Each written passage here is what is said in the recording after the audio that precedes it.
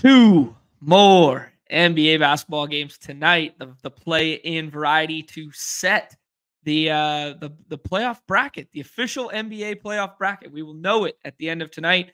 We figured out the NHL playoff bracket last night after the Kings and uh, Knights did some flip flopping over and over again there. But most importantly, we got the Mariners at Coors today.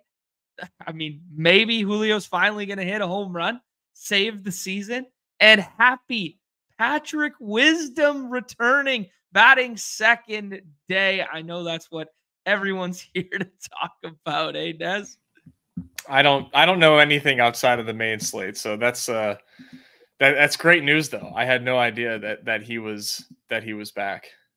Yeah, it's good, man. Outfield too. He's playing the outfield. So is he a lefty killer himself? Ooh, yeah. get him a little yellow positional designation for our daily contest. That'd be fun. Here's hoping, man. Here's hoping. Make uh make stacking those uh stacking him and Christopher Morel so fun. Oh baby. Can't wait. Let them face um, uh some lefty in Coors, please. Yeah, one time. Uh, here's the GMs, GMs, the happy Fridays. What's going on? All our friends in the chat. Hey, it's the first time I've seen Alex in a in a minute since he had his big bink the other night. So congrats there. Uh, speaking of binks, Nez, are you gonna tell the people? I'm out here celebrating third place finishes. I'm glossing around the streets, yo, patting myself on the back, third place. What'd you do yesterday, my friend? Yeah, I mean, just a little second place, just just a second place in the frozen rope. Uh, for whatever reason, I have a lot of good fortune in these like super like limited top heavy structures. I don't know. I mean, it's pro- I don't know if it's just like variance in in there or what. I'm not going to question it. We're just going to keep playing, skill set, dude. Um, the skill set. Yeah, get get get good, get good. You've, you've per- issue. You've perfectly tethered and designed your own play style to be good in these contests. Tell the people, man. I had no idea. I had no idea. This is what I've been waiting for all along. Thank you, thank you, Neumy, for oh, recognizing oh, my skills. Oh, that's good. Um, before we start, we'll start NBA. Hopefully, I mean it's only two games late. Uh-huh. Um, a lot of moving pieces with the injuries and stuff, though. No Jimmy buckets tonight. No Zion Williamson tonight. Uh, where those minutes gonna go? Not entirely sure. Maybe a flippening of Nance and Jovel back because the narrative is Jovel cooks Sabonis.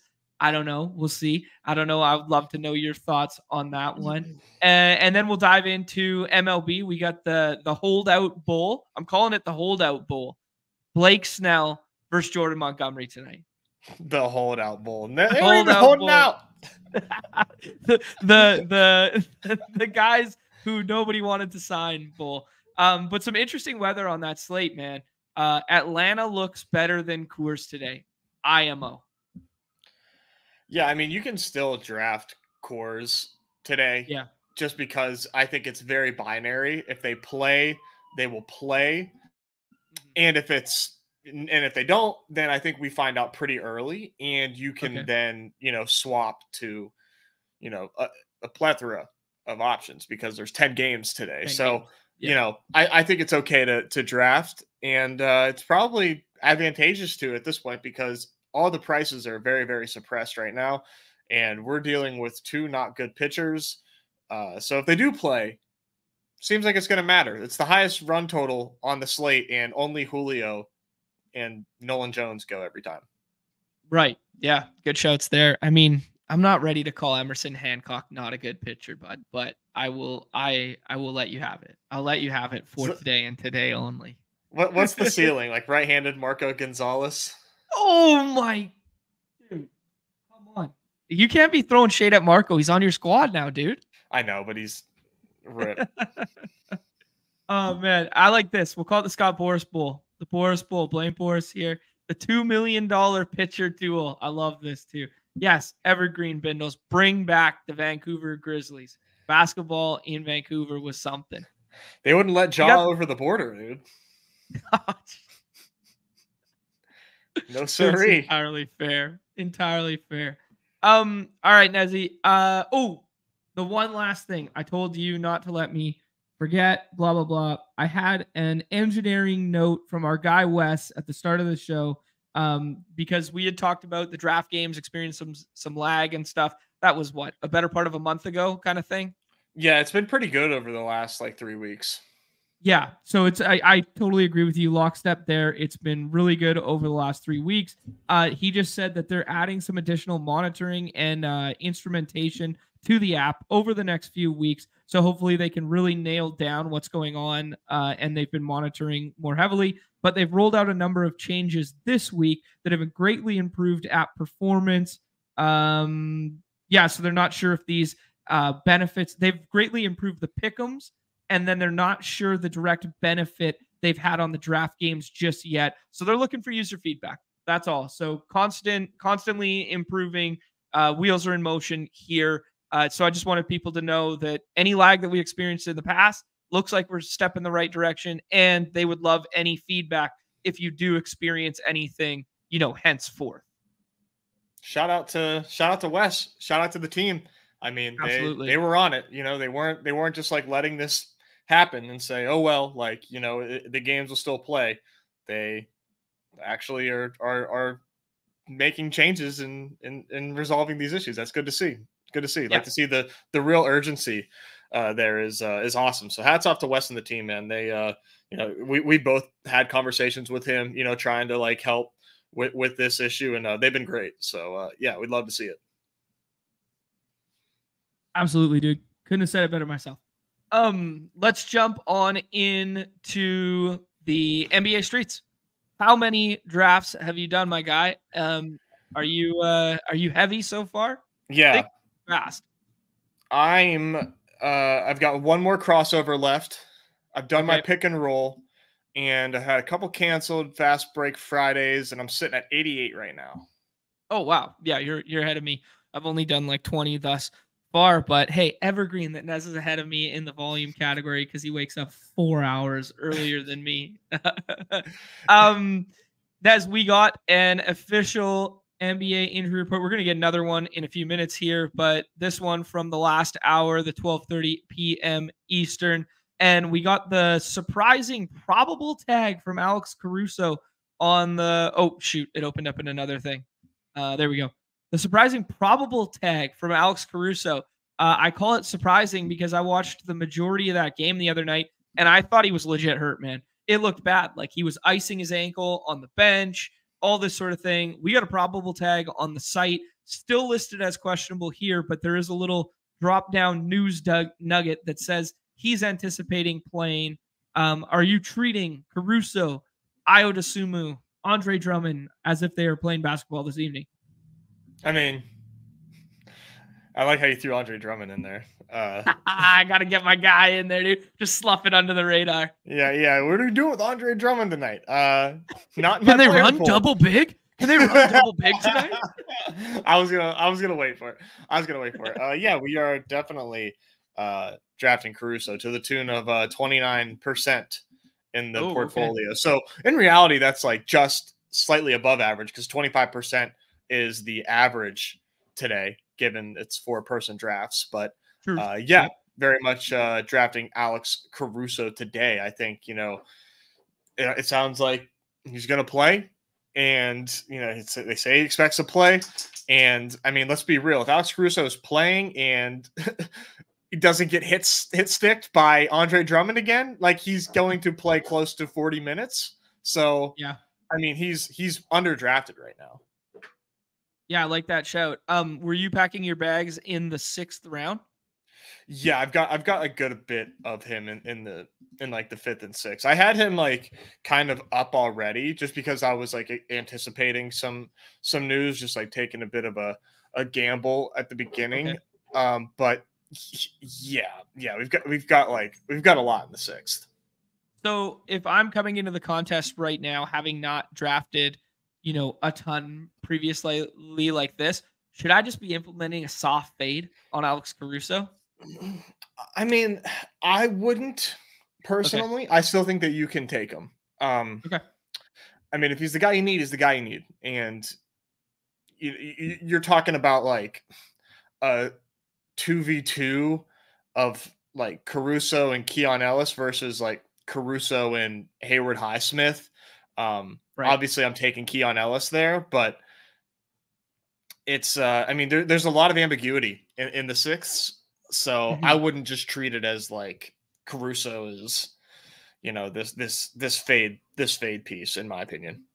Okay, yeah, I like that. Um, shout out to our guy Wobie here. Wobie, thanks getting in here.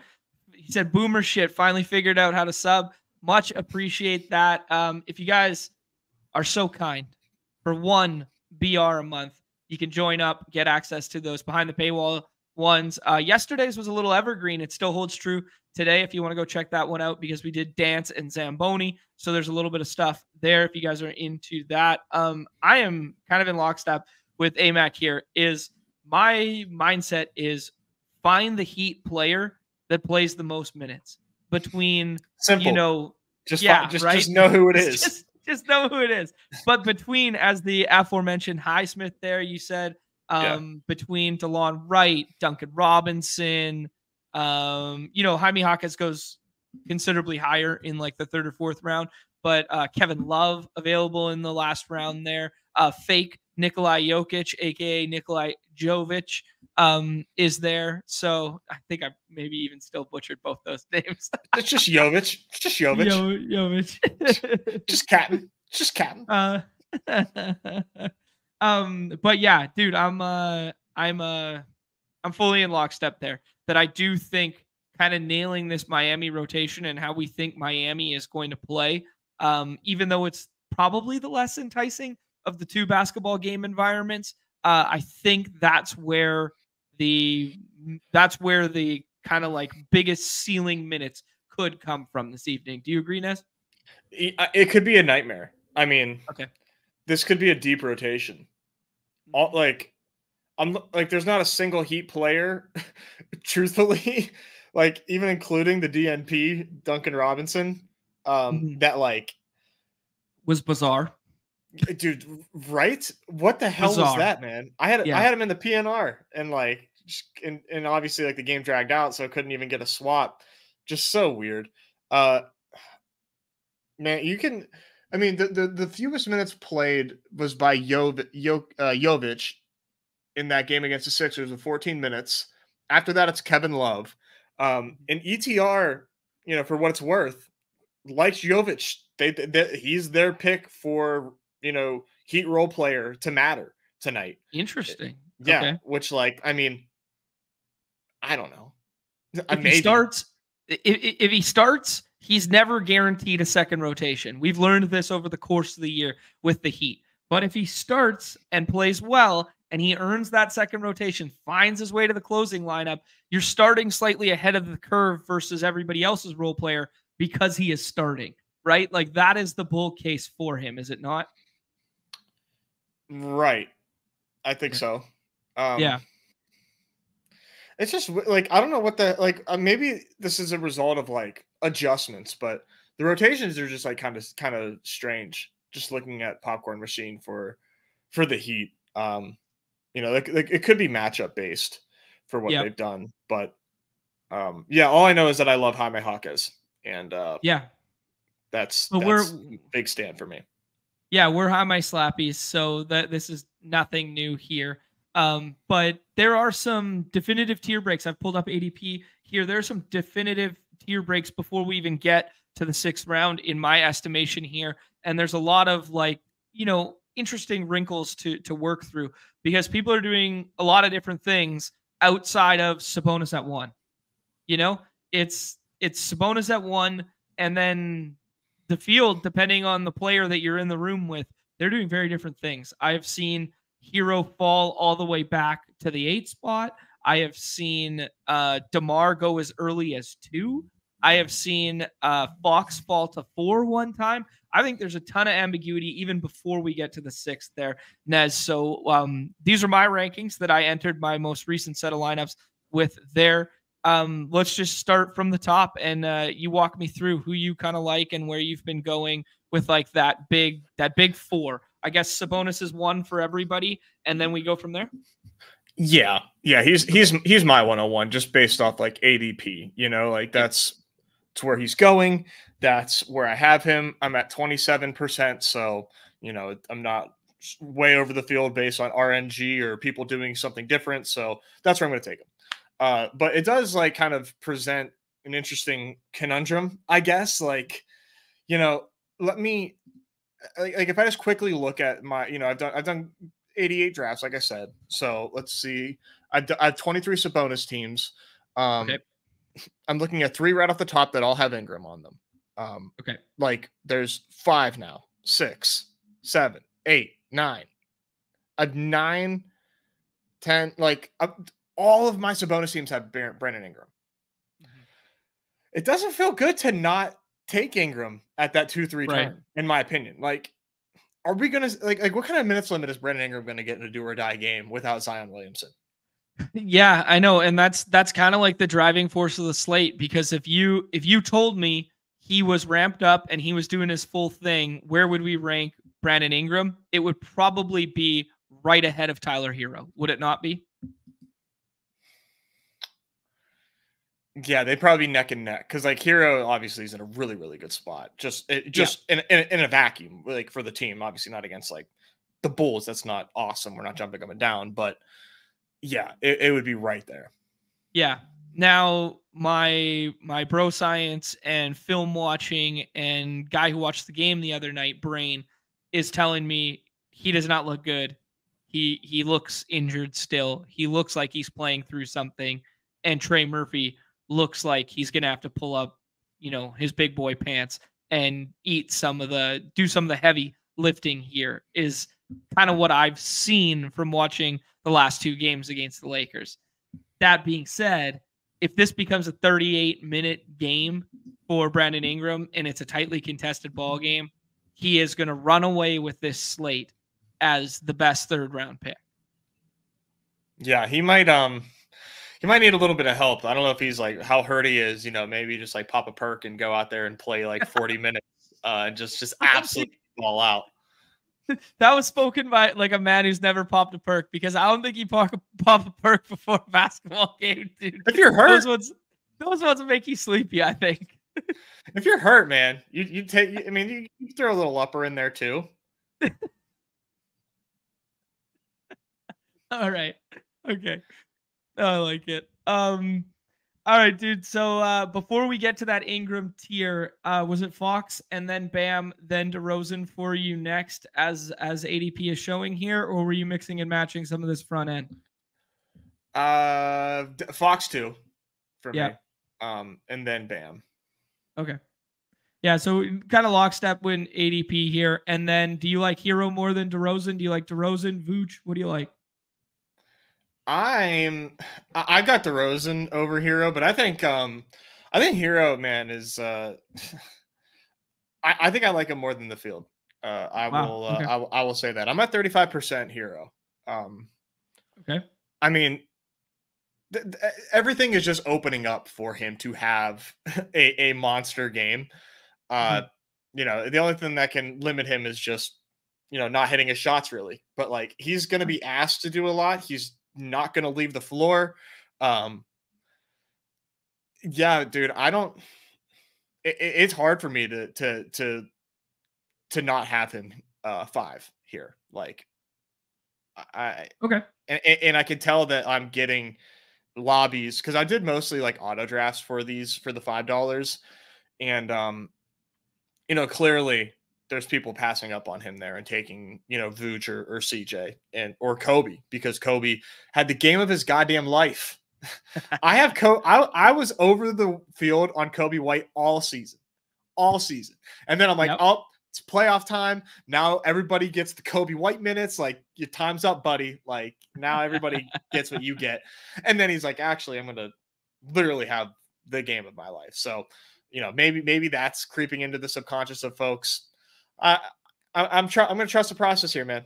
Tyler Herro is going to play every minute, and he's going to have every opportunity to score a bucket on the offensive end for for Miami. So he's yeah. he's definitely one of my larger stands. He's um he, he's he's like my top, he's uh sorry just one two three seventh seventh most drafted player right now.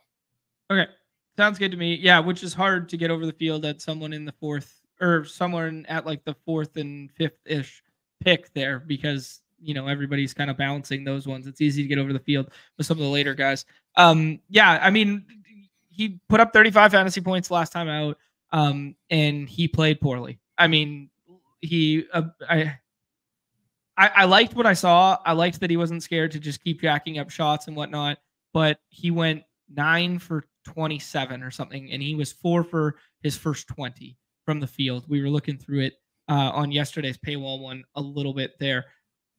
If the shot falls, I mean, there's no reason to think the ceiling can't be there. It's just we need a couple stocks to drag us along here, and he's just not a guy that does that sort of thing. So, I mean, can we get a 35 5 and 9 game from him?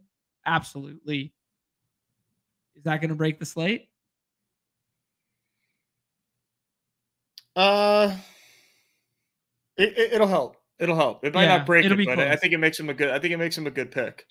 Yeah, yeah. There. That, that's the perfect way of articulating it. Like, mm-hmm. who has a higher ceiling, CJ? If Ingram is limited, or Herro knowing his role right now? So I got a hot take, and I think you know, I think it's if if see if if, if Ingram's limited, yeah, like you know, and he's and he's not healthy and he's not there again, the Kings win by twenty. Like it just won't be a game, right? Like okay, the, yeah, the, yeah. King, the Kings, like these, these are two teams trending in different directions, and the Pelicans for one reason compared to the Kings for another. Both these teams are dealing with injuries, and the Kings have like in my, you know, based on my eyes, like the Kings are playing really good basketball. Like they're kind of coming on. Like it's a shame they're not healthy because they are really coming on right now. Maybe um, that's low key helping them a little bit. Like they've been way better defensively, and like they've been a little bit slower. Not that the Kings play much slower uh, without Monk and Huerter, and maybe that's a good thing right now. I don't know.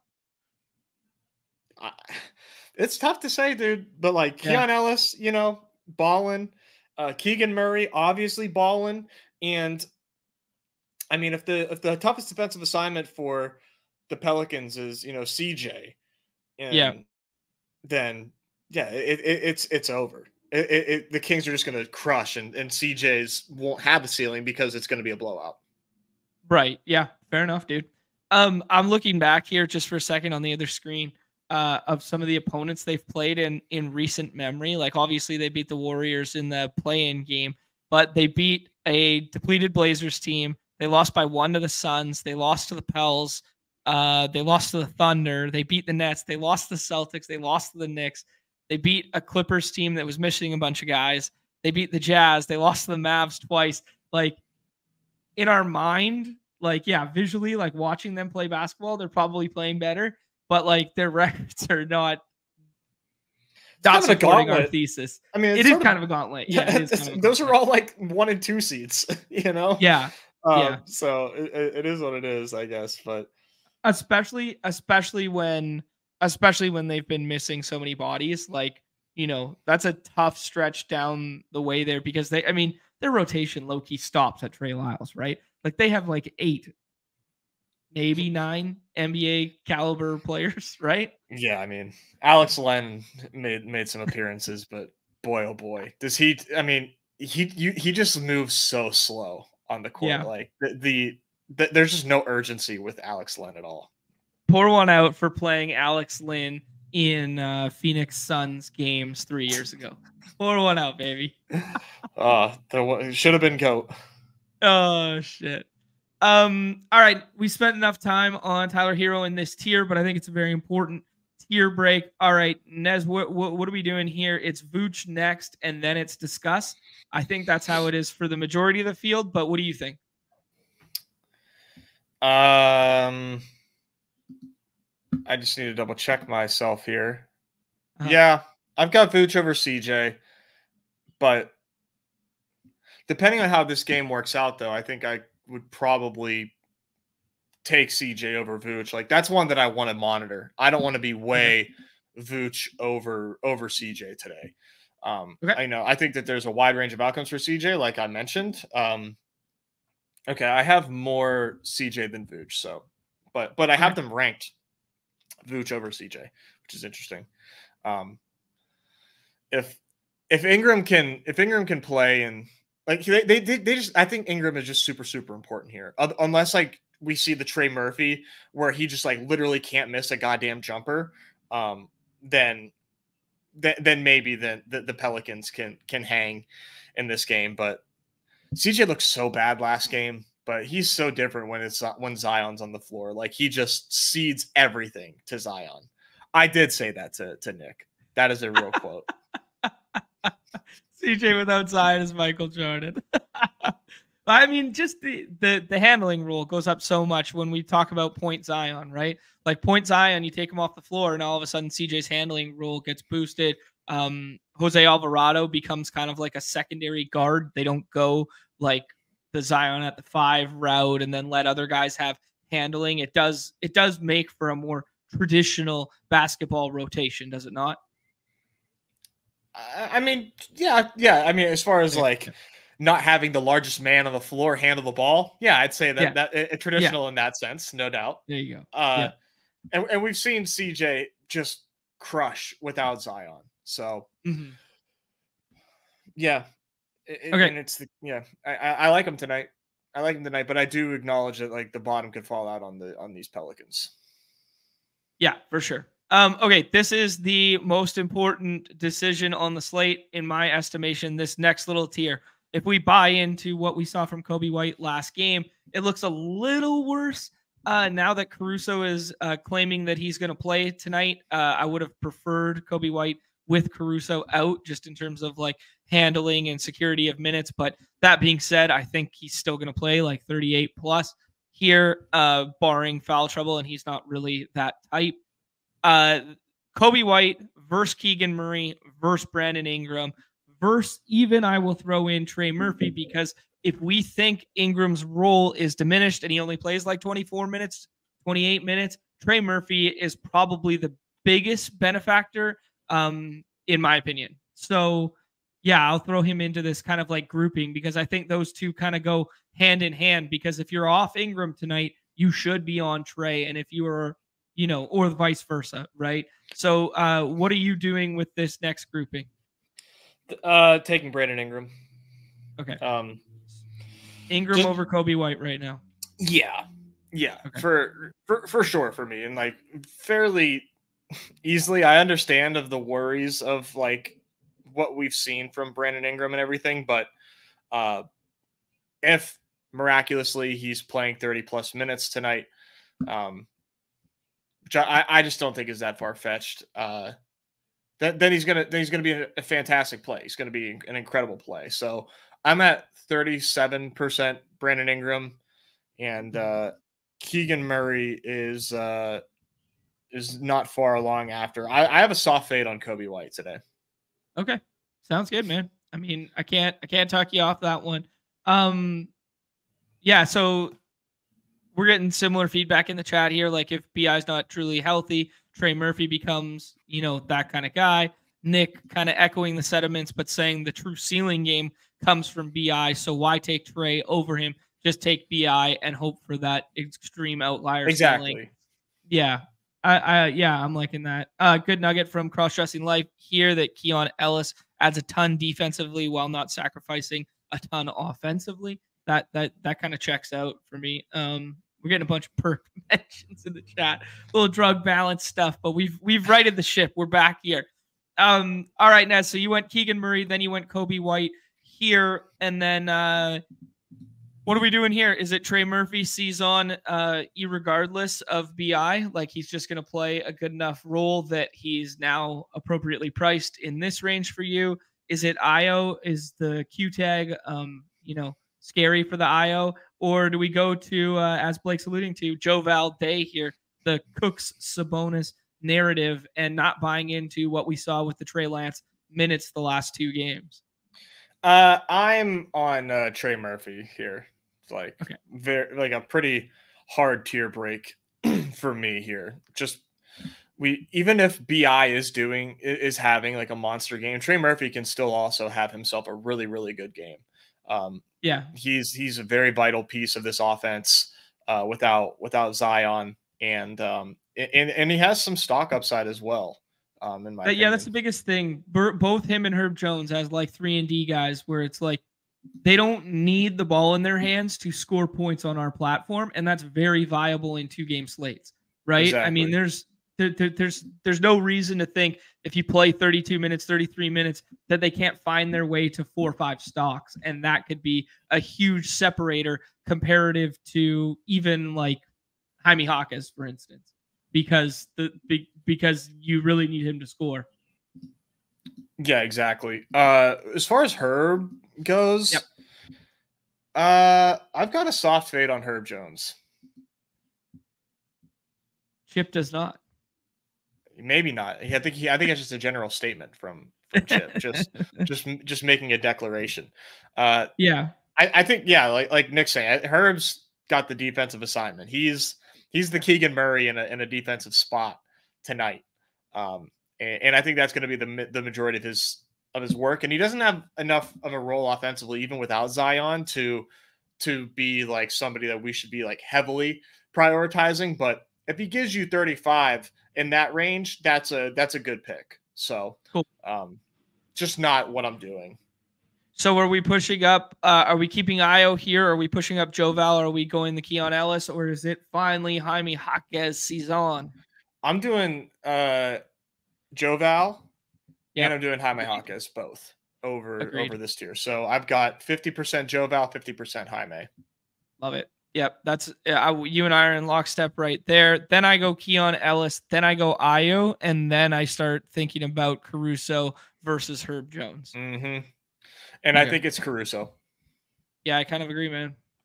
I tend to agree. I'm like, gonna be I love Herb Jones. Herb Jones as well. I love Herb Jones as, as a real life player, but for this slate, I just don't I can't take him where he is. And you know, just trying to reason with myself on it and just be and just telling myself that like, you know, this is a little bit of a of an edge that we don't have ADP all we have are these site projections and this is maybe one of those spots where you know you just let somebody else take herb jones because he's at the top of their queue when in reality like he's not the pick cool yeah no absolutely. I feel uh, it's interesting that you bring that up site projection versus whatever because i feel very similarly about javonte green because i think his value though playing more recently I do think his value is pretty tethered to whether or not Ayo plays, and I do think Ayo plays, which would make the projection on Green slightly high in my estimation.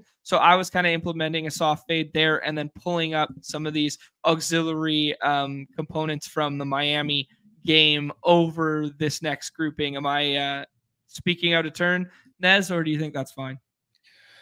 I mean, I don't know, man. I think Javonte Green actually like has a place in the in the top twenty in the rotation. Okay, mm-hmm. cool.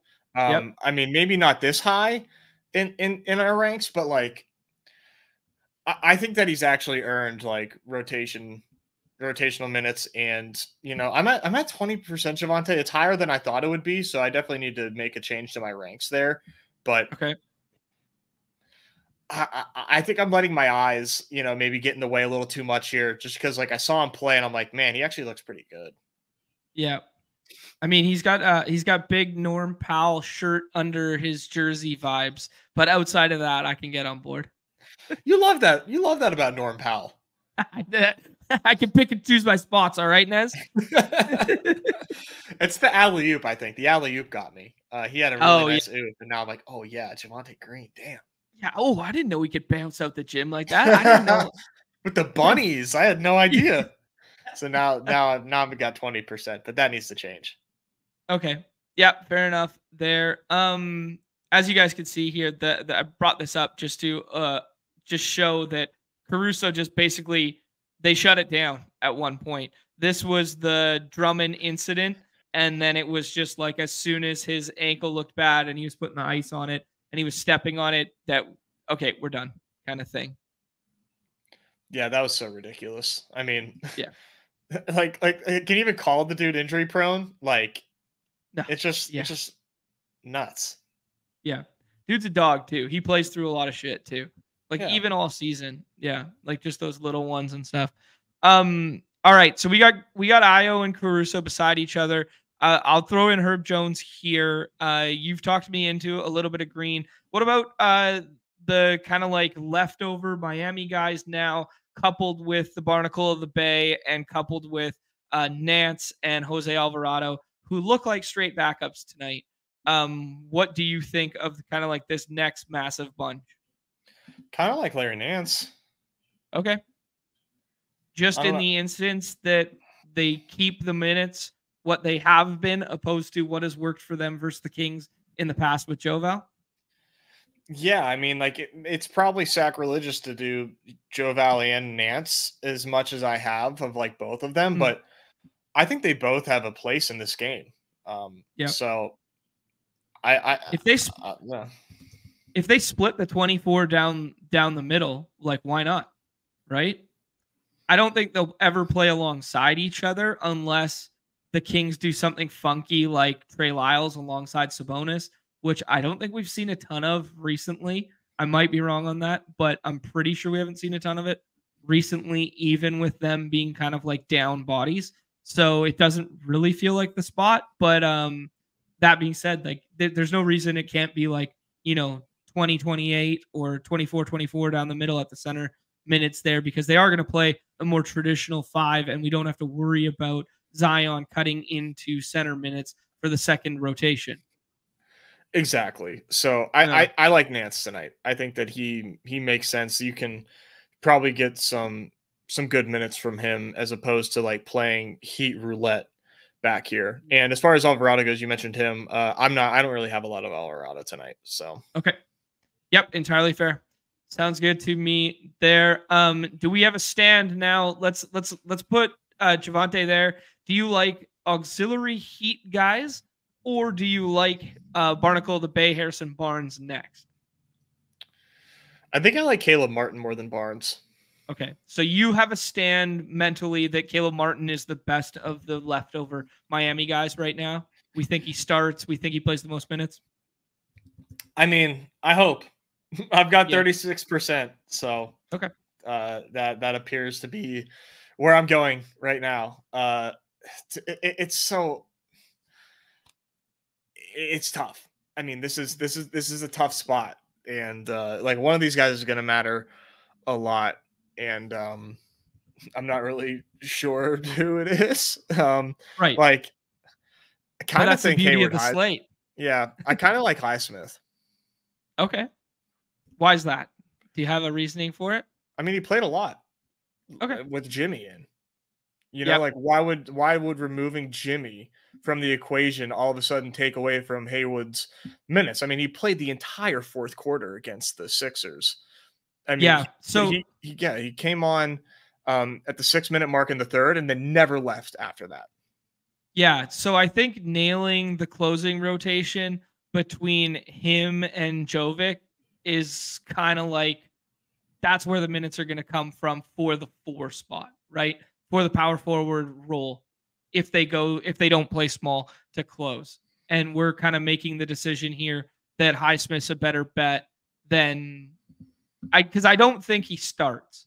You know, do you think he starts?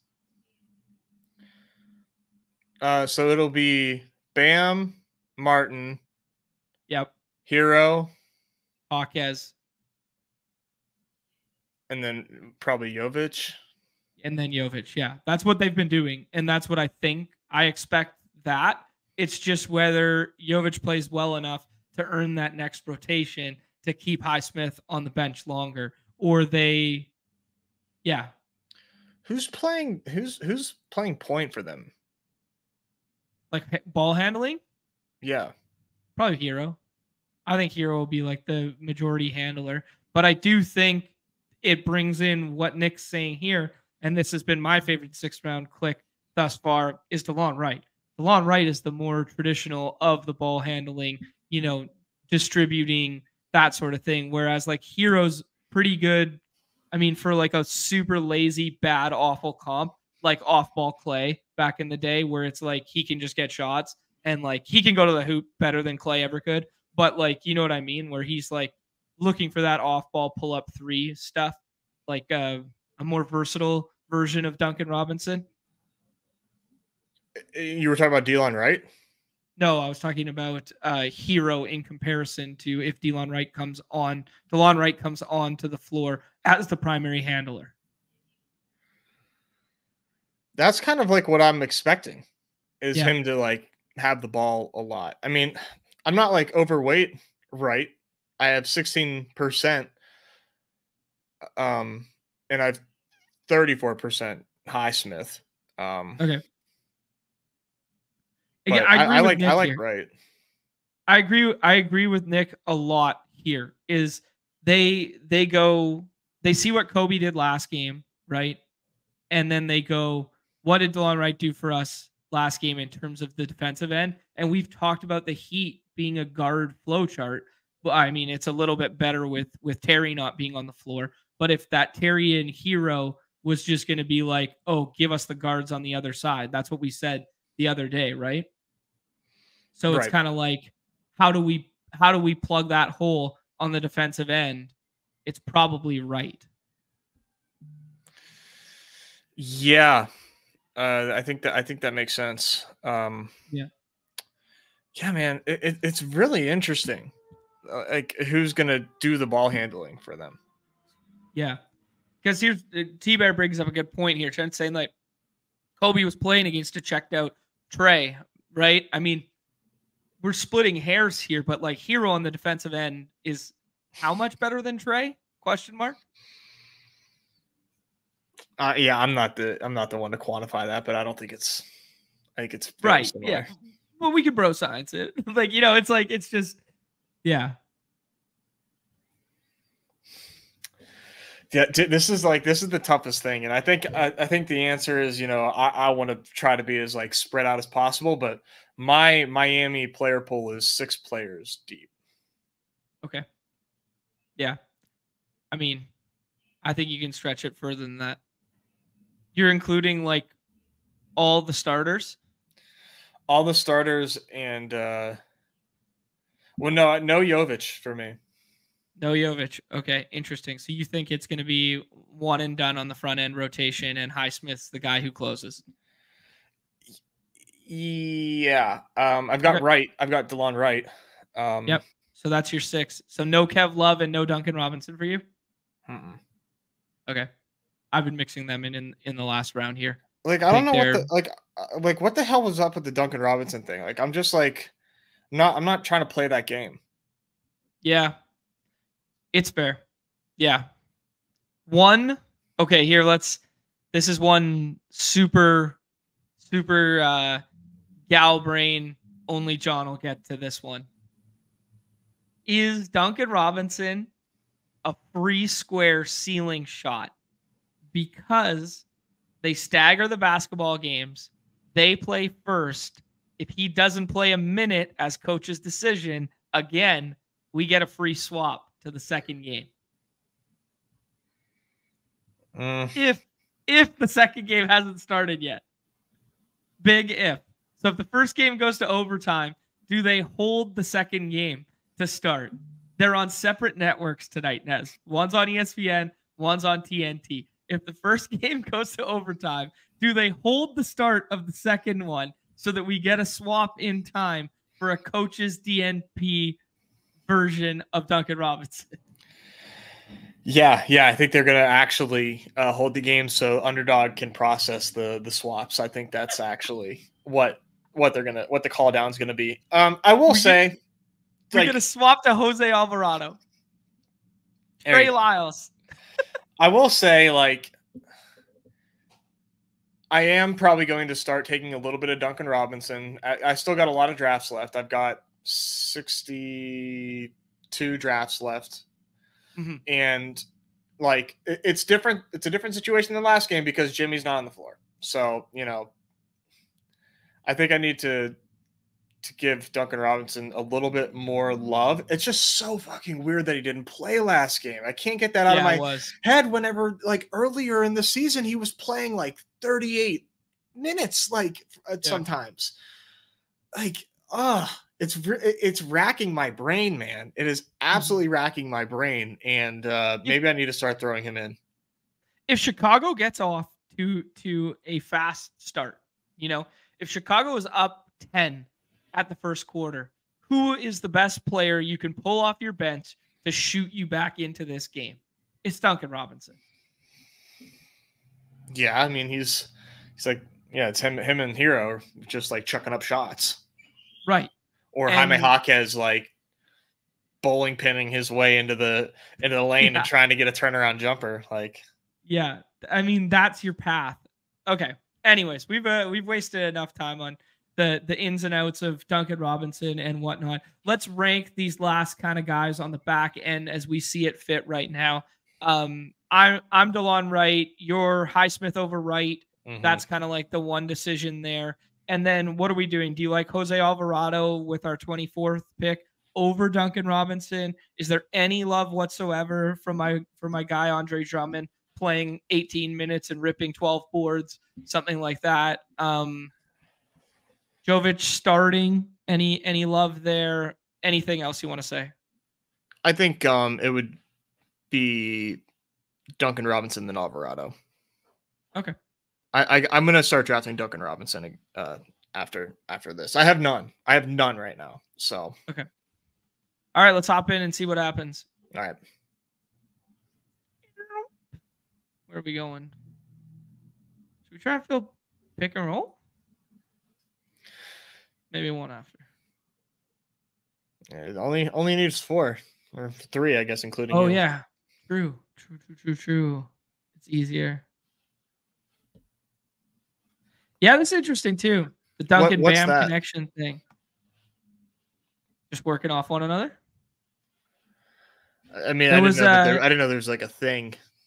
There was a stat half halfway or you know three quarters of the way through the year that I saw that was like dudes who've assisted the most on a, uh, a guys of, of uh, other teammates baskets and they were mm-hmm. like one of those unlikely combos that was like fifth or sixth um hmm.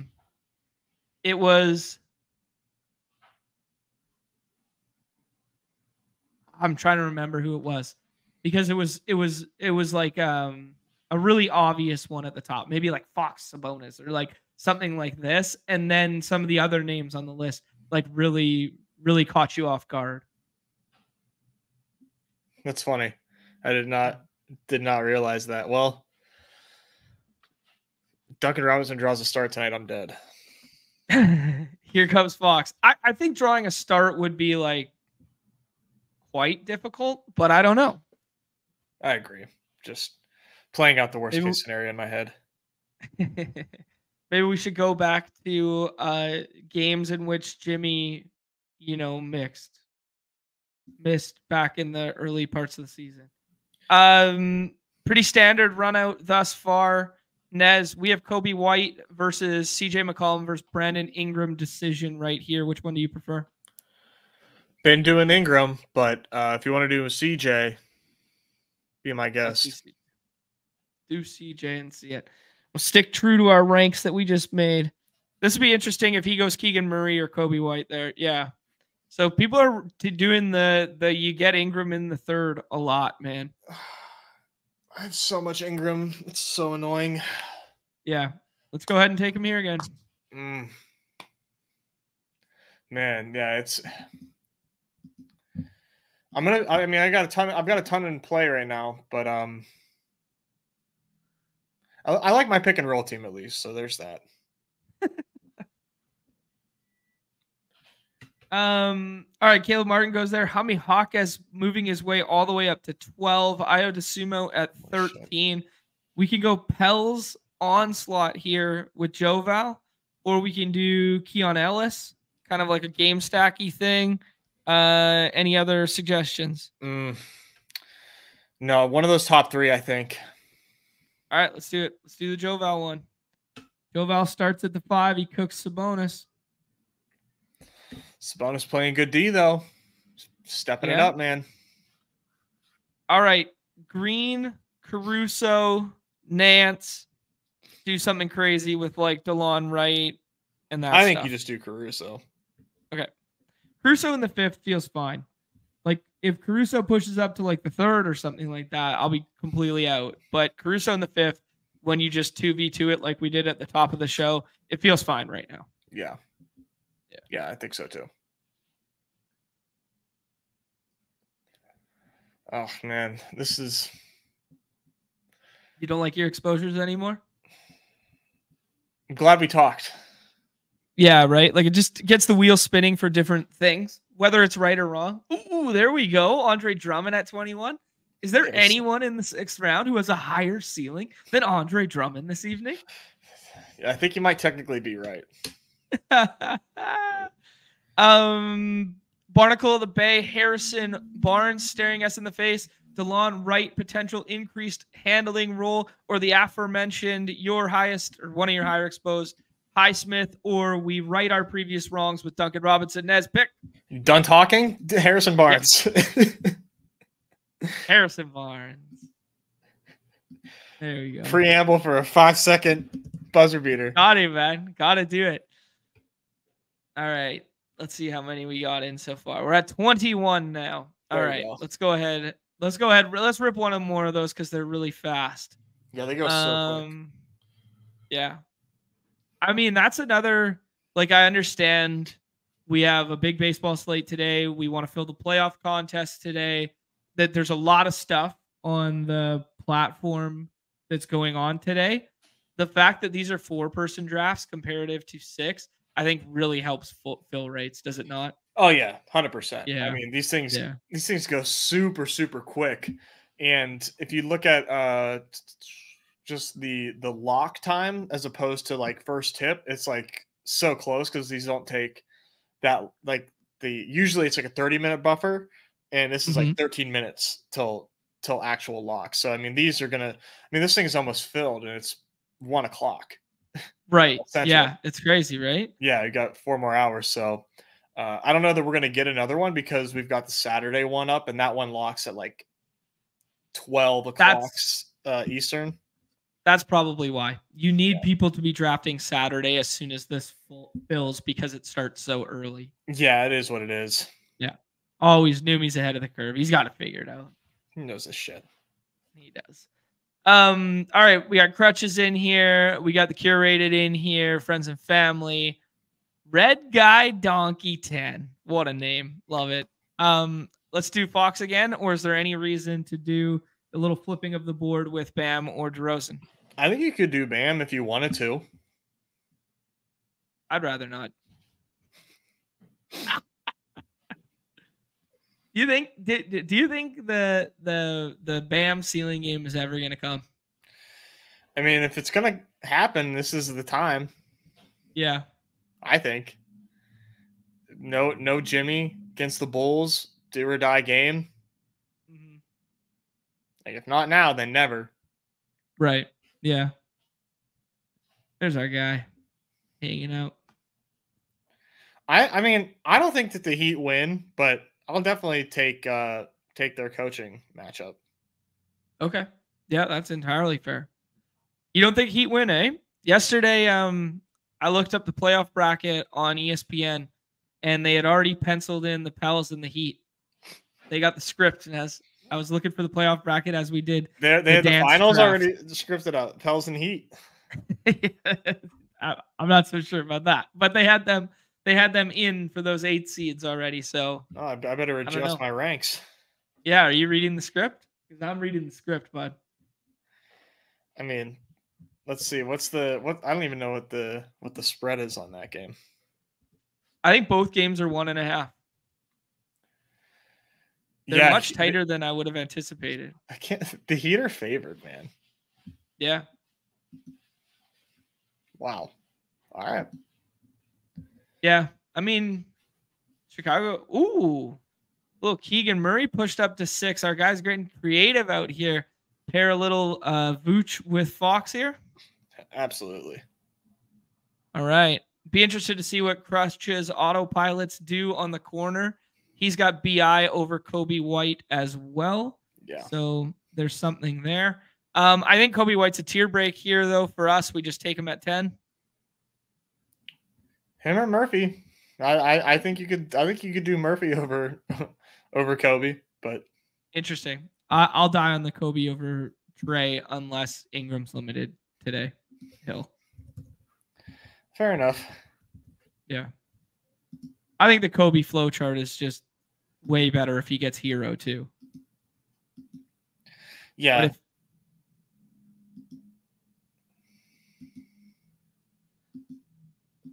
like I don't think even if Trey Murphy, even if Ingram plays 20 minutes tonight, Trey Murphy plays 38 to 40. I don't think he has anywhere close to the ceiling that we saw from Coby White last game. I mean, Trey Murphy Coby White put up like 70 points. That's my point. He's not. he's not going to do range, that again, though. Nobody's saying he will, but range of outcomes, he has that in his bag. Trey Murphy does not. Period. Trey Murphy would need would need Wemby eight stocks and hit 10 threes to do that. But Trey Murphy, here, here's the difference, just, though. He Trey doesn't Mur- ball enough. The the difference, in my opinion, yeah. is that Trey Murphy, if if we were to sim it out, I think Trey Murphy is going to outperform Coby White, in my opinion. Just because in like 10,000 10, sims or something sure. like that. Right. Yeah. And and that's like that's the point for me. Yeah. That's fair. That means you should be you should be lower on Ingram, man. No, it means I should be fading Coby White. That was the discussion. And I am fading All Coby right. White. Okay. I don't think those two things are mutually exclusive because I think Trey Murphy's hinging upon Ingram more than you do, I guess. He's not a ball handler, man. He's a he's he's a shot taker. That's true. That's true. That is true. Yeah. Um. All right.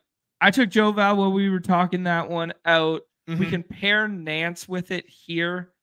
We could do a third bull in green, or we could do Caleb Martin. I've been doing Caleb Martin. Okay. I think with Joe Val, Joe Val and Nance on the same lineup, like that, that feels pretty bad. Okay. Yeah, just like limiting ceiling, like hand cucking ourselves. Yeah. Uh okay. Let's see here. I mean, last game, I don't think they're ever going to overlap, right? I mean, but when you take Zion off the floor, I don't know how much that changes things. Mm-hmm. I don't think they overlap at all tonight.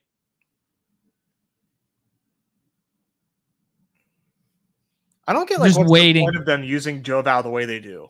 Like, do they just have him on the floor just to like do the jump ball?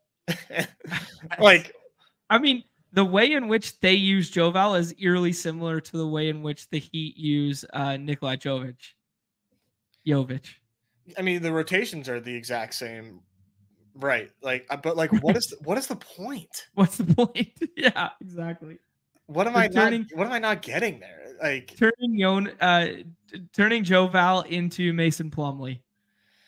Like, what's like the best case scenario with that? Like, what are they? I don't. I don't understand what they're trying to do if if we could forecast two tweets from the underdog uh, NBA account right now.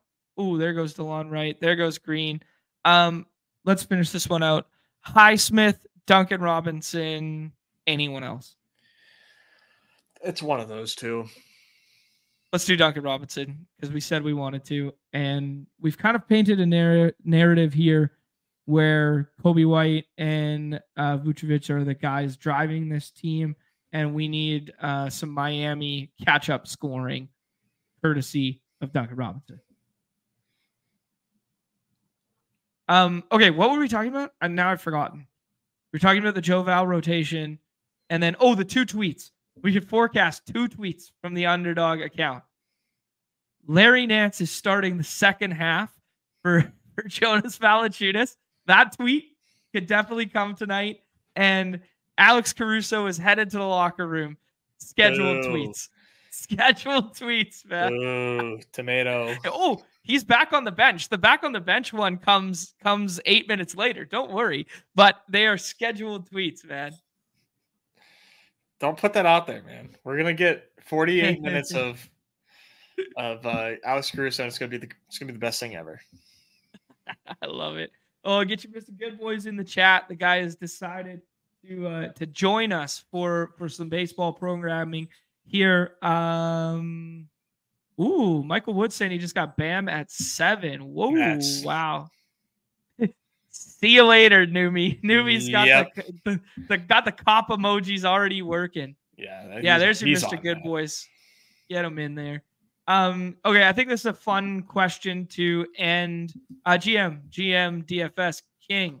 Um, this is a fun question from Eli here to ask. Where should Duncan go if we knew he was going to play? I mean, the sixth round. Interesting. Okay. I don't know. Like, what do you think? You think he's in the fifth? Like, if Duncan Robinson played 22 minutes tonight, I'd take him over Herb Jones. Spicy. Spicy marks, buddy. What? Can you can you handle those spiky spicy margs?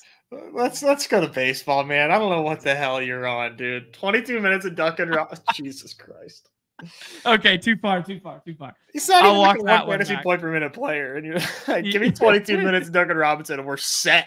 We're set, baby. Holy shit! that takes us out. oh, welcome to the program, Nick. welcome to the program. Yeah, Duncan Robinson would still be a six rounder. It would be like him versus versus Highsmith, still in that range. He would probably be ranked 21st, 20th. Yeah, like the CLV like that you, five six turn. Yeah, right. The CLV that you're getting on Duncan Robinson wouldn't be insane unless somehow they put him in the starting lineup or something like that. But I don't really see that happening. Oh man. All right. Let's talk a little baseball. Um two things I wanted to hit off the very top with baseball. Obviously, uh, check out neztakes.com. Uh, but the weather today is really cold, and the Coors game is tricky to navigate. And Kevin Roth, our guy, hashtag our guy for weather, is actually on vacation this week. So everything that you get from roto grinders and whatnot that you're looking at is not as strong a resource as we're traditionally accustomed to. So just putting that caveat out there for everyone that our guy is gone for the week. That being said, the only weather spot is potentially Coors, and it's cold and it's rainy and it's like 45 degrees. Everywhere on the slate is cold other than Atlanta. Everything is like an abomination of 50 degree weather. Uh yeah, that's that's all I got on the weather front. Yeah, I mean, seems like it's something to just like not care about. Okay, in my opinion, uh, if yep. everybody's if everybody's dealing with similar conditions, uh, I'm not adjusting anything major here, other than like like we kind of mentioned, this Rockies spot is not good. Uh, mm-hmm.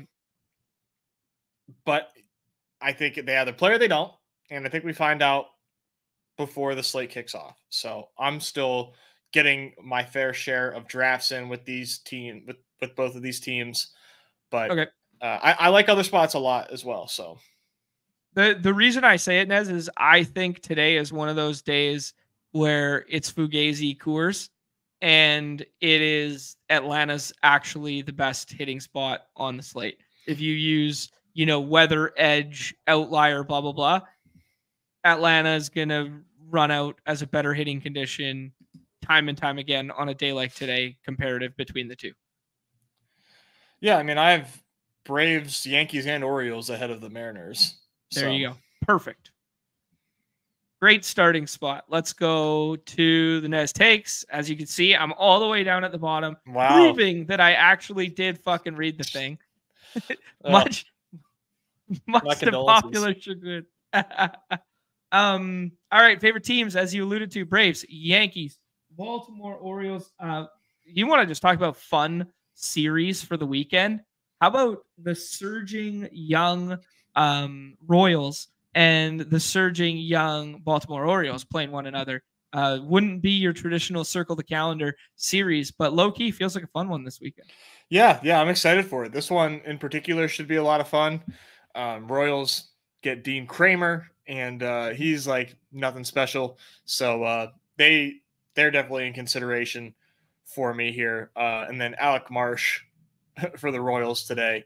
uh, against the Orioles. Those two team names are kind of like tough to to say in succession there. Yeah, yeah. but uh,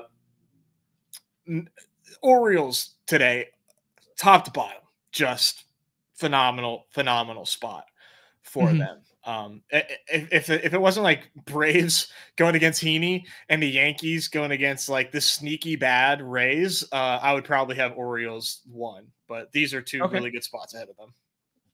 Cool. Yeah, I like it. Um, actually, while we're talking about uh, cover boys and that sort of thing, and Yankees is what brought this to mind here. Is you have Gleyber Torres as your cover boy yeah. here.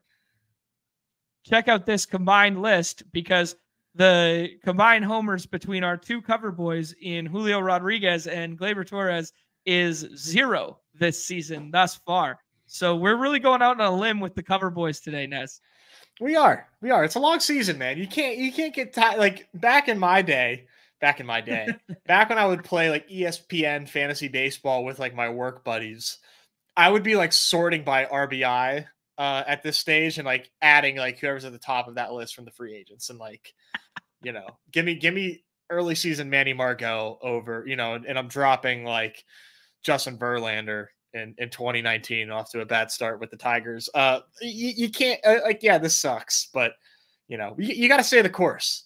You got to just stay the course, and uh, you know, I'll I'll adjust when it's time to adjust. But I, I I just found it funny because of some of the names on this list. Yes, it's still early, but like, man, there's a lot of names on this list that are guys that I like, or guys that we draft every day, or guys that are always mixed in like that those those Henry Davis and and Brian Hayes stacks right now are killing us. This Wyatt Langford surge from uh, ADP 90 all the way up to ADP 30 at the end of Dinger season. Like it's just aging so poorly right now, and I just found it humorous. Well, no Matt Wallner on this list. what uh, saving grace? Hold on. Okay. I'm being told he's not on the 26 man roster at the moment. Oh, Mulder. Oh, pour one out, man. It's all right. Did he actually did he get sent down? Oh yeah. Oh my. Yeah, he faced Skenes yesterday. No, we didn't. Or, or, a couple days ago or something. Our boys were our boys were going off. Two of my highest drafted players duking it out in AAA, baby. I love it. Um, all right, I'm gonna get give this a quick refresh, see if we have any lineups for the main slate thus far. Uh, Nationals are not on the main slate. Um, no, doesn't look like anything yet. Um, okay. All right, Nez, anything else you want to say? Uh, just kind of like macro landscape. Um, people can go through and and read this sort of stuff, but uh, you have Joe Ryan ranked as your highest pitcher over, even though his ADP is SP4, I think, the last time I checked. Yeah, I think so, which, like, it's fine by me, man. Uh, Joe, I mean, the Tigers right now are just really, really bad offensively. So, two things going in Joe Ryan's favor. One, he has nasty stuff. And two, the Tigers don't really, unless they're playing, you know, the the Rangers and Jack Leiter, uh, yeah. they don't really have uh, too too strong of, a, of an outcome there. So I like Joe Ryan. He feels really safe with the with a really high ceiling. Cool. Yeah, I like that. Um, those are are kind of like slip slided everywhere, chasing the ball around. Actually,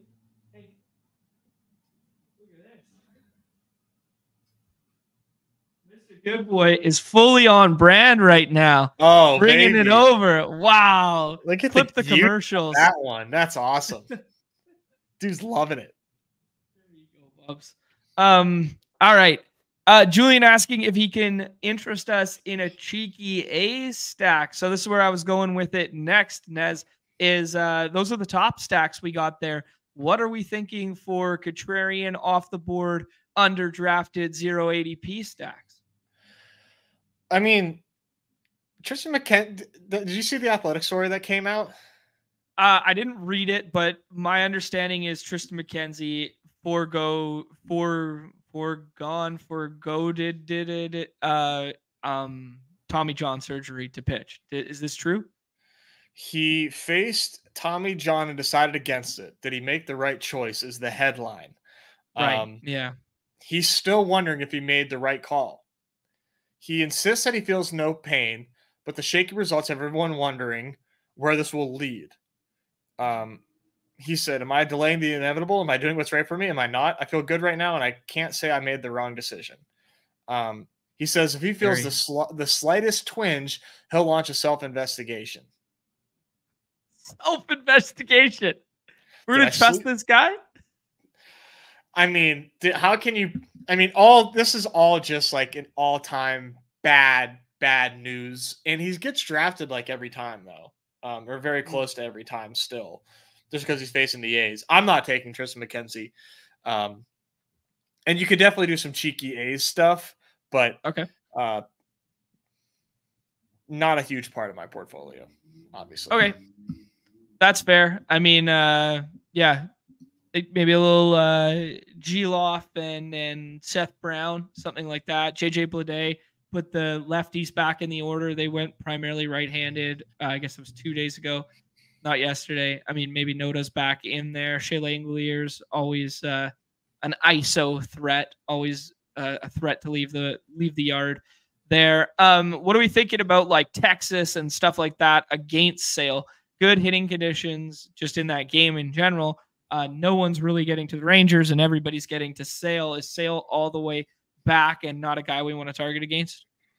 Oh no, you could definitely take the take the Rangers against against okay. Chris Sale. Um, okay.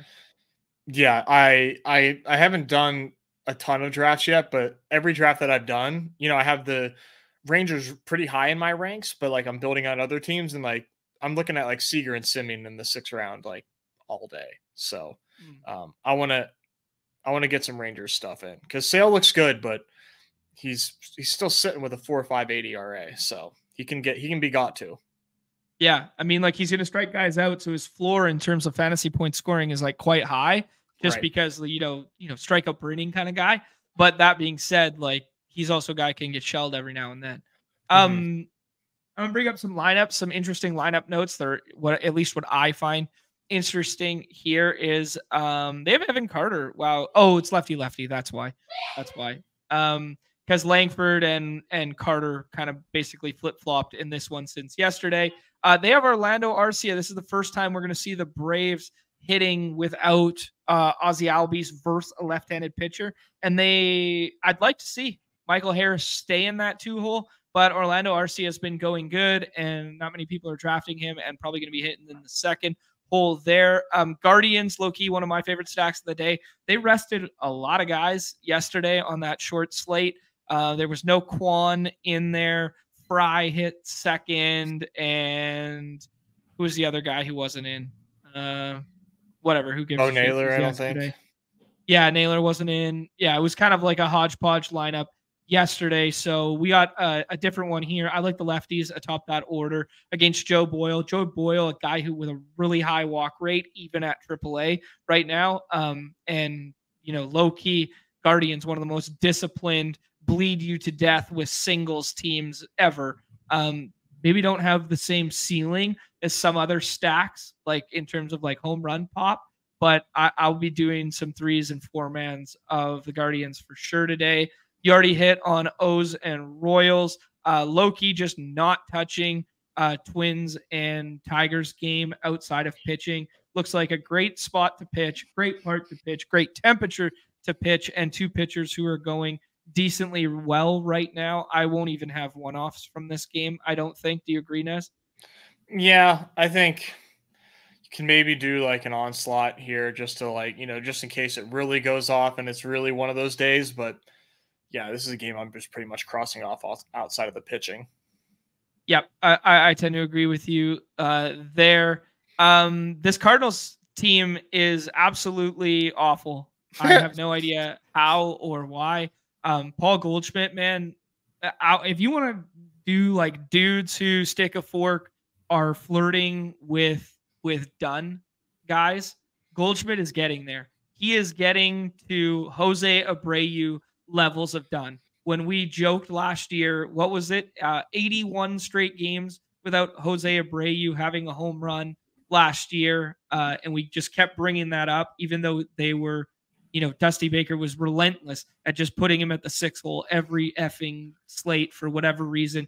Even when Chas McCormick was cooking, he would just stick him in there every time. I'm starting to feel eerily similar about Paul Goldschmidt. I will not touch this. I will not touch the majority of this Cardinals team unless they are facing a lefty right now.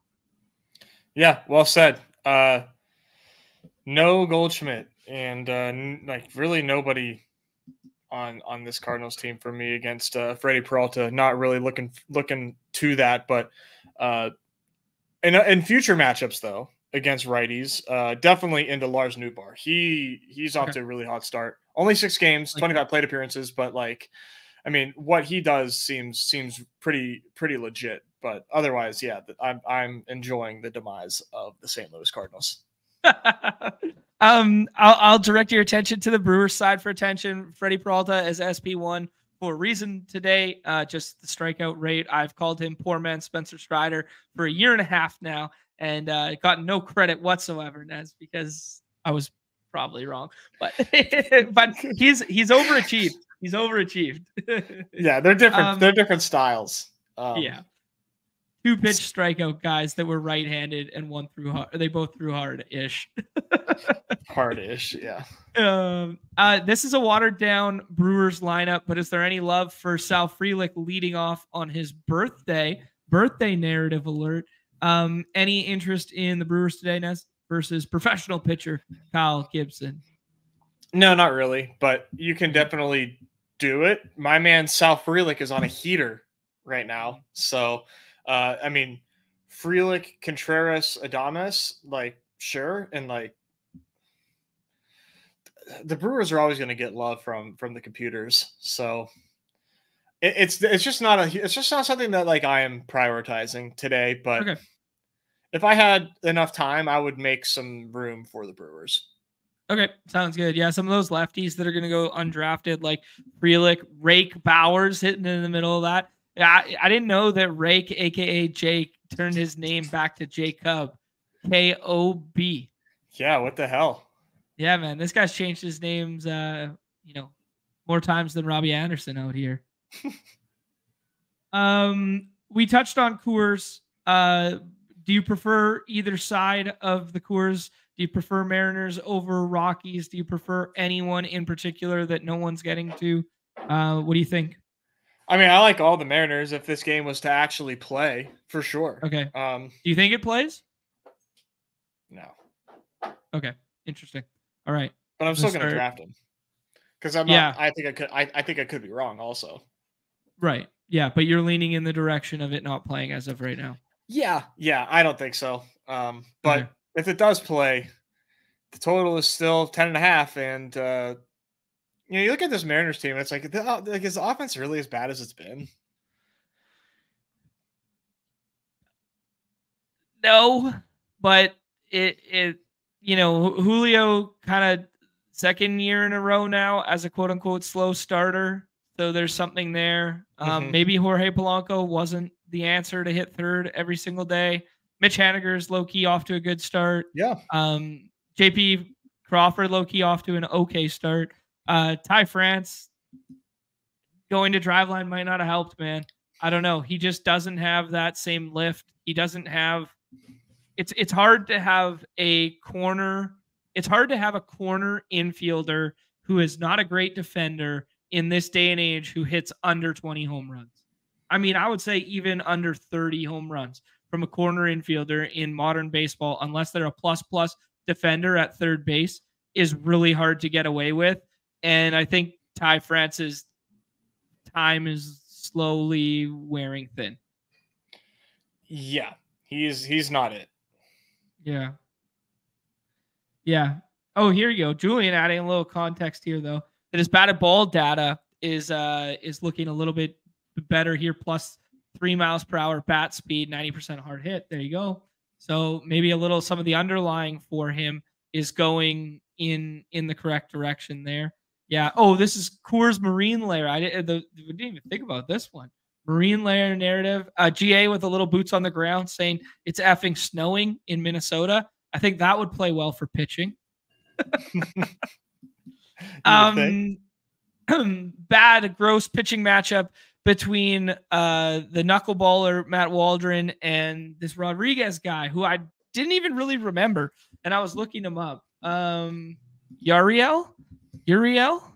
So I'm pretty sure like his deal is he was like international signing like just this like just coming into this season. Um and mm, he was okay. like sought after. He played in the WBC. Um I think he played for Cuba and uh, oh. and he was oh. nasty in, in the WBC. Dude, now I remember who he is. Now that you said as soon as you said Cuba, I was like, boom, yeah, I got him. Yeah, I really wanted the Pirates to to sign him. Um mm. Yeah, he's got really good, really good strikeout stuff. I took a, uh, a higher on his on his Ks in his first start. Um, yep. And yeah, man, he's he's really interesting uh, against the Padres today. I like him. I I I think okay. this is not somebody that I'm trying to stack against uh, today. So yeah, hopefully he can keep up the the good work. Okay, sweet. Good context. Thank you for that, Nez. That was uh, the sharp information in which I needed. um, any love for, um, uh, I mean, not a great place to hit, but any love for the Blue Jays on the other side of the Matt Waldron matchup? Um, not really, man. But like the Blue Jays are so irritating because they're just like not somebody that you like. You can just like see them exploding like at some point they are going right. to have like a really really good game i don't think they're going to have a really really good season but it's all going to click at some point so you know you might as well just like give yourself one or two three to four man stacks a slate with with the blue jays but like i'm not going to call my shot on them having a good game against waldron i think this is just a classic fall flat spot for toronto i mean if, if we were going to run this if we were going to run best ball back today Mm-hmm. Where's Where's Vladimir Guerrero being drafted? Three four mm, turn. Still ahead of Nolan Jones. Um, I uh, well, I think. Okay, let me visualize. I think Trout moves up. Obviously, I think Seager moves up in that second round. You know, those guys were kind of around him. Adolis stays ahead of him. Riley Greene or um, Austin. Uh, why am I blanking on um, Austin Riley? Austin Riley stays ahead of him. Um, Gunnar Henderson or Vlad Guerrero. That would be the third, fourth round corner. Which one would you prefer? Gunnar. Season? Like no, no question. Gunnar Henderson. Okay. No, no question from me. Lindor or Vlad Guerrero rest of the season? Vlad. Okay, so Lindor would slide a little bit down. Uh, Elly or Vlad? Elly. Wow. Okay. I love it. Come to the dark side, you sick fuck. Get over here. There's I mean, I you. have a Vlad Pull fade, up a chair. But, but the Elly, I, I'm, I'm, yeah, I'm, the Elly, the uh, the Elly hates over. Bryan Reynolds or Vlad rest of the season? Vlad. Yeah. So he would be up in that same tier because of positional designation. I'm trying to think who else was at that three four term. Throw throw uh throw a couple more out in the chat if you guys. I mean Semien, them. Semien or Vlad. Yeah, I think you just take Semien. Semien was going over Vlad sometimes, anyways, because right. they were on that left hand side of the board to begin with. Ozzy Albies with the injury or Vlad? I think Ozzy. Wow. Even if he misses like another four weeks or three weeks. Four weeks would be tough. Yeah. But like, uh, oh, here's big... a good one from T. Okay, go ahead. No, no, sorry. Go ahead. I mean, like the, the biggest thing for me is just like the, the, the lineup stinks. Vlad's not mm-hmm. having a bad season. I mean, he's only at a 118 WRC plus. You know that's going to improve, even though that's what he finished with in 2023 and everybody who's you know saying that it's going to get better because obviously don't you know but i mean he's walking a ton right now which is like good um yeah but just like the slugging is just still not above 500 and it hasn't been above 500 the past two seasons yeah you're vladimir guerrero jr they killed him with that park man They killed him with that park. I'm gonna die on that hill. I've been saying it since day one. Did you hear the Bo Bichette quotes about uh, batting average? Yeah, I think that's awesome. Like What's that, the most that, important offensive stat? Batting average. Oh, the guy that the, the, the guy that the guy that the, the guy whose only skill set is is batting average thinks that batting average is important. Well, wow, no shit. so good. Um, here's a good one from uh, Terrence uh, Ozuna or Vlad.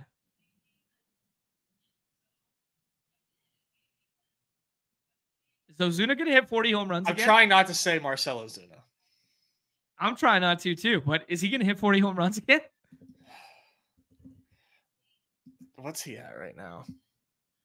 Six, five, something like that. Like tied for league lead. No, he's dude. He's at eight. Eight. Oh my god. Marcelo Zuna. Do you want to hear these stats? Okay. Seven percent walk rate, seventeen percent K rate. Obviously, that's going to go up a little bit, but seventeen percent K rate right now. That's very um, for him. 352, 403, 732. Wow. good for an 1132 OPS for a 205 is, that good? WRC 11, plus. Dude, compare that OPS to like Ohtani and Betts. Like that's, I mean, like he's he's up there. Like Ohtani's wow. OPS right now is uh nine or one ten forty for 182 yes, WRC plus. Right and now. it doesn't even feel like Ohtani's like having a great season right, right now. That's fair. Yeah, it doesn't feel you like know, that's that's wild it's been overshadowed by the fact that Mookie Betts has been so good. Um, yeah, okay, last one here. Julian asking, uh, Royce obviously still injured. Oneil Cruz versus Vlad. I think I still take the Vlad side of that one. That's Vlad. Yeah, that's yeah. Vlad. I need I need Oneil Cruz to figure it out. So Simple resurrection contest drops tomorrow. Vlad's ADP is what? 31. Okay. So you still think he's a fringe front end third rounder, but we just think some of those other guys now move over him. So Gunnar moves up enough to go over him. Elly moves up enough to go. Yeah, maybe actually him. worse than that. Maybe like 39. I, I think three four turn. I think that's okay. like I think three four turn is where he gets where he would go. Yeah, I was gonna say I was gonna say uh 38 and a half. That was gonna be like my number instantly. He yeah. falls to that right hand side of the board where Lindor was going in the dinger because everybody's just like, well, I mean, you just you can't let Lindor fall farther than this, can you? And then yeah. just fucking clicked his name like dogs. Um, yeah, I said it. Um, okay, last two games on the slate here. Sean Manaea hasn't been what we wanted him uh, to be when people got excited about him cutting his hair and being a late round pick. Um, any interest there and any interest uh, stacking against Yamamoto today, who looks all the bit of the fourth round, third and fourth round pick that he uh, that he was. I mean, him and Glasnow looks stupid good. Yeah, I mean, Manaea's only had three starts and only one of them was bad. Okay. Um, the, the Dodgers are the Dodgers, though. yeah, I was like, he's about to have another bad one here. Probably, probably, but yep. I don't know. I'm not clamoring to get to get to the Dodgers today. So fair enough. Uh, I and, and I like and I like the Mets as a sneaky stack against uh, Yoshi. Cheeky Nez, cheeky. They came alive. Um, what was it? I think they've won two series in a row, and they came alive with like nine runs the other night. So this no, lineup, I, I don't think that I don't think point, they played I don't think they. I don't think they played the last four days. Oh yeah, yeah. No, they didn't. I, I don't know. I don't know what you're talking about there. I don't think you're right. Those were those were scheduled off days for yeah. the entire league. yeah, I don't. I don't. I don't recall what you're what you're speaking of there. Uh, um, no, but they are hot. They are hot. They just swept the Pirates, and they were the Pirates were leading in every one of those games. Uh, wow. And uh, and got swept. But Yamamoto, you know, he's had two good starts after that Padres, you know, breakdown disaster. Um, yep. and then face the Padres again, and the Padres kind of got to him once again. Um, chased him out in five innings. He has yet to go six. Uh, yeah, man, I'm not. I, am not. I'm not so certain that he's like dominant. Okay. Yamamoto. Entirely fair. Entirely fair. Um, Julian adding some good context here that Manaea's bad start was because Starling Marte dropped mm. a 99% catchable fly ball and didn't get credited for an error. Very good context from our guy Julian. Thank you for that. Um, last game of the night, Nez, uh, in a park that mitigates the effects of wind in San Francisco. We get the Scott Boras Bowl, aka the two late signees, going up against one another. The left-handed phenom, two-time Cy Young winner, who, according to Baseball is Dead, I was listening to yesterday. Shout out Underdog Podcast Network. I don't, I don't even know if that's a thing, but it should be, and I just made it. Um, the family of Underdog Podcasts. Uh, Blake Snell, two Cy Youngs, has never had a complete game before. Kind of crazy, huh? That is crazy, but like, who's n- nobody's surprised by that statistic, right? Right. Yeah, that's fair. Nobody who knows ball is surprised by that, but it's it's interesting to note. It is very interesting to note. Uh, yeah, I like both these guys tonight. Ooh, interesting. I'm on the other side of the fence. I think. Give me your take. I mean, give me your take. I mean, the, the the run total speaks for itself. It's seven and a half run total. Um, I mean, like what we know about these pitchers is that they are good. Yeah, you know, like I guess if you don't think that like Blake Snell is yet like up to form, okay. Uh, and Gumby's had you know multiple rehab starts uh, in in AAA leading up to this. This isn't his first time picking up a baseball. Um, right. You know, I, I, like both these guys tonight. The, the, the pitching slate is so deep that you don't need to prioritize pitching early, really. Um, okay. So, and, and, I'm totally fine with Gumby as a fallback option. Like, he could find himself like pitching into the sixth at like a 65 pitch count. You know, like he doesn't.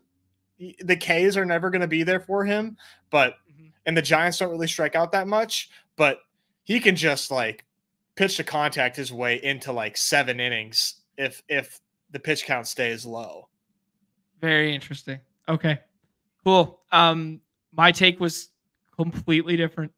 Like just the fact that we hadn't seen Snell go more than 4 innings yet and the fact that they were working Jordan Montgomery back and probably wouldn't push him heavy in his first start. I didn't know the AAA context. So thank you for the fact that he's he might be ready to be stretched out and whatever. He's not a high high velo guy, either. So he he is kind of like yeah. the archetype of professional pitcher who can step in and throw five in his first outing. I was going to pose you the question that I heard on Baseball is Dead from the same thing. Our guys over there suggested higher lower on total innings pitched between these two tonight. Um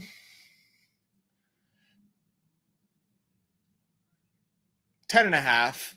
I think would wow. if I if I was a if I was a lot if I was a uh, projection maker, um, wow, I that's would, high. I would say 10 and a half. You think? That's high. They oh, said seven on. and a half. Oh, that's ridiculous. Seven. Dude, what do they think I Jordan think, Montgomery does on the mound? He's not working counts. Hit yeah. it. He's, he's just grooving it. Hit it. Okay. So counter to this from a fantasy relevant standpoint, if we think Jordan Montgomery pitches five innings tonight, we should be loading up on Austin Slater and Wilmer Flores. Because if you give me three at bats versus Jordan Montgomery from those two lefty killers at the top of the lineup, one of them's going yard, maybe both of them. In San Francisco? Like Wilmer almost hit 30 in San Francisco last year.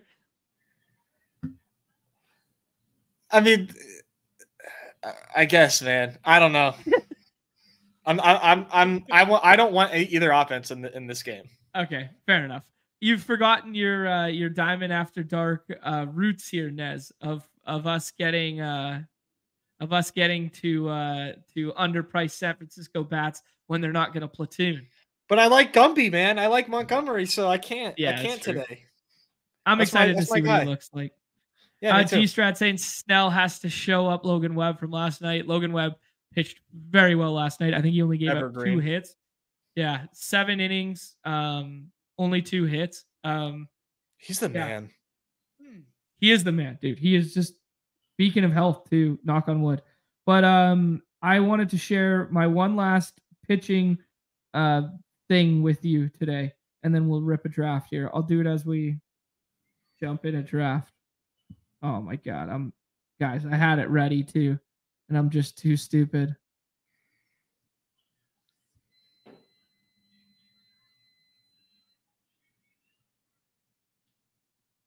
This is riveting radio. Okay, let's jump in a draft, and then I'll read you this one, Nez. Yeah, Julian's right. You're speaking on Montgomery like it's Andrew Heaney on the on the on the bump here. This is like it could be Gumby and Gumby in San Francisco, man. He's his earned like let, us look at let's look at the underdog fantasy pick'em lobby here and and see uh-huh. what they've got listed for Jordan Montgomery. All right. Our guy Don rolling through here says he's new to the DFS streets. He needs to know which outfielder he should have today. I mean, outside of the big boys of you know Judge Acuna and uh, th- those guys today, Nez, who's a who's a guy that's a little bit further down the list that isn't as obvious that you would want to be getting to today? Uh, Colton Cowser and Cedric mm. Mullins. Nice. Okay, cool. Yeah, I like that. I would throw out um Teoscar Hernandez today too versus lefty. I like Teoscar. I like Haniger. We don't yeah, have like any it. innings for Jordan Montgomery in the pick'em lobby, but we've got an earned run higher lower of two and a half with um, a spicy higher on the two and a half earned runs allowed. I would, I might just go ahead and put something together right now where I take a lower on that. Okay.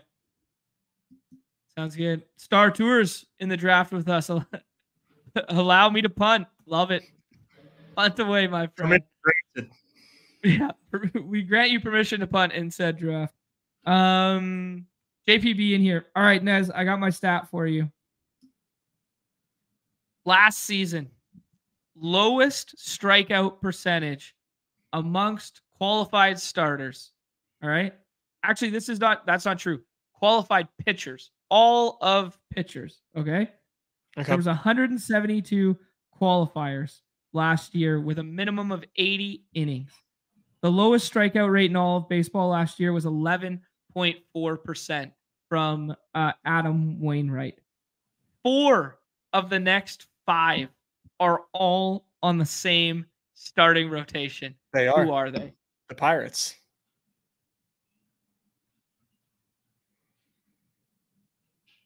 Mookie Betts. Uh, yeah. Are Julio they on, Rodriguez. Are they on the uh, the Rockies? They are all on the Rockies. So it's that like is Dakota Hudson one of them, or is he actually a, a, not one? Dakota Hudson is the second lowest strikeout rate in all of baseball behind Adam Wainwright last year. Then Cal Quantrill, then Kyle Freeland, then Noah Syndergaard, which I found kind of interesting, and then Austin Gomber. Checks out. So so you have a park where contact is king. Contact just opens up the entirety of that yard because much to people's chagrin, that place is not it's not a bandbox, right? It's not a place you hit it out. It's a place where contact plays because the outfield is so large, right? Mm-hmm. And you build your pitching staff to be contact pitchers. I mean, I, I don't even think that they know what they're doing when they build their pitching staff, to be honest. yeah. Uh, I'm going to go ahead and stack Ohtani with Betts because it seems kind of rare and something that doesn't happen every draft. Wow. GM, GM. Oh, GM, GM to you, sir. now, are you going to do Freeman? Freeman is having the quietest 120 WRC plus season ever. Dude, it's crazy, man. Like hit like he he he doesn't he just feel like that dude always? Like he just Kinda. feels like he just quietly gets it done. Just um, like seven, on... eight, nine fantasy points, and never like double digits, never yeah. like breaking slates. Yeah. Yeah. Um, has he homered yet? He must have. He he's homered once. Uh, I'm gonna say no, but maybe once. Yeah. He has one home run. One home run, yeah and it was was it the Seal series? Yeah. oh no, it was against the Cardinals. Uh, Yeah, it was. I, I remember it actually. I think it was Sunday night baseball, or it might have been the Saturday night. Oh, we got a lineup here. Orlando Arcia in the in the two hole.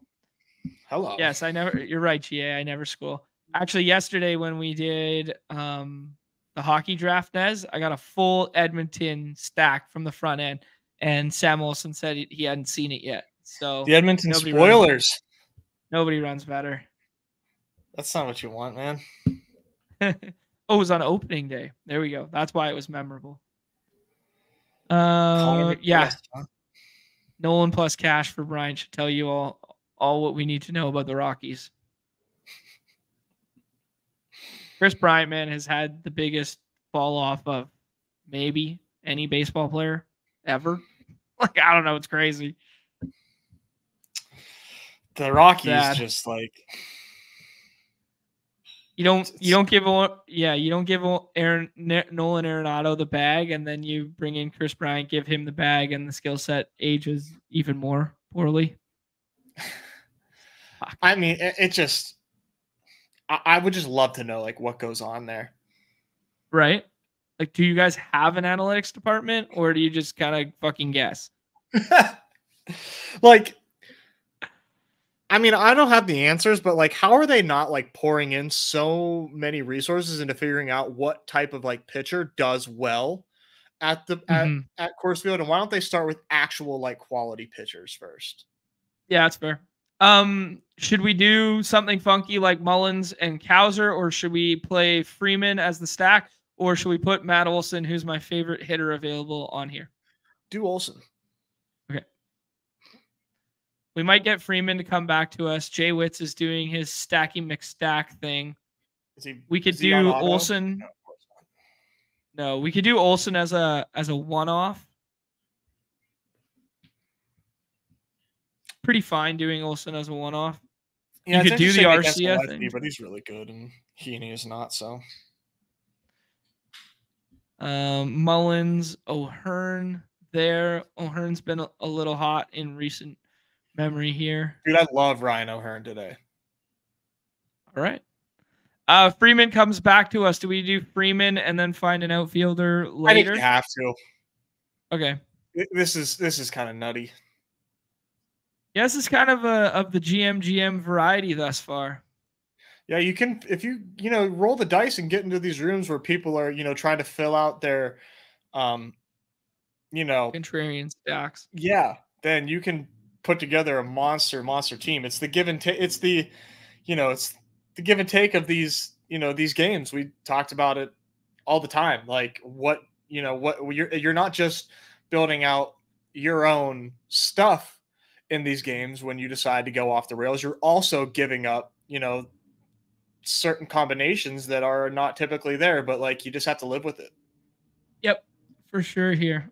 Um yeah, Owen's saying the opposite of what we were saying here. Um with McKenzie versus Oakland could be fire. I mean, it, it could also blow right up there because he might be hurt as hell right now. So that one that one's interesting.